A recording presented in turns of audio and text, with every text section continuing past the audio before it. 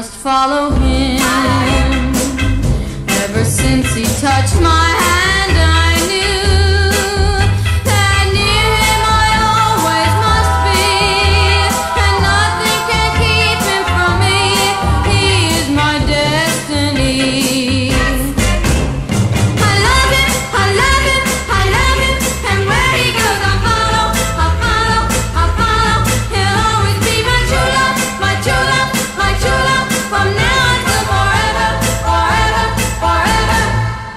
follow